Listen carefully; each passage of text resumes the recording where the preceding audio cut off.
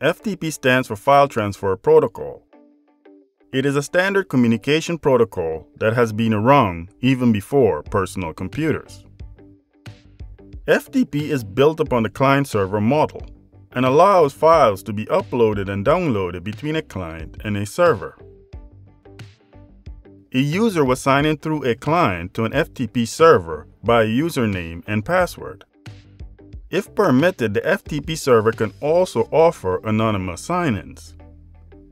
Connections between the client and the FTP server are usually secured by SSL, which is referred to as FTPS, or SSH, also known as SFTP.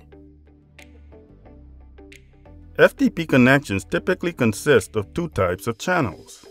The command channel, which is initiated by the client, is used for relaying information for the next channel that is to be initiated, which is the data channel. The data channel is through which files are transmitted. One thing of note, FTP connections can consist of more than one data channel. FTP operates in one of two modes.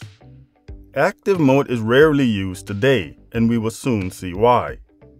In active mode, the client uses a command channel to connect to the FTP server by port 21. Information is then transmitted to the FTP server indicating which port should be used for creating the data channel. Upon receiving the port number from the client, the FTP server goes ahead and initiates the data channel, making it possible for files to be transmitted. Passive is the second mode in which FTP can operate. In passive mode, the client creates a command channel as it does in active mode, but sends instead what is known as a PASV, requesting an open port by which a data channel can be created. Upon receiving a port number from the FTP server, the client then initiates the creation of the data channel. What we should take away from these two FTP modes is that in active mode, it is the FTP server that initiates the creation of the data channel, whereas in passive mode, it is the client that does the initialization. This will become important for one main reason, security.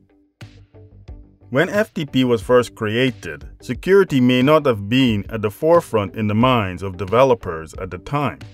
In our modern times, this is not the case. Today, most clients operate behind what is known as a firewall, which filters how a device is accessed from the outside by keeping open ports to a bare minimum. For passive mode FTP, firewalls pose little issue, since all connections are made from the client side. But in active mode, this is not the case because the connection for the data channel is initiated by the FTP server, which is on the outside. But this is not to say that FTP servers do not have firewalls of their own. But these firewalls will have to be configured to be more flexible with outside connections. So FTP is a protocol that allows for the transference of files between clients and servers. Connections are made up of a command and data channels. SSL and SSH are two methods by which FTP transmissions can be secured. But with the implementation of firewalls, active mode is now defunct, and passive has become the operating mode of choice.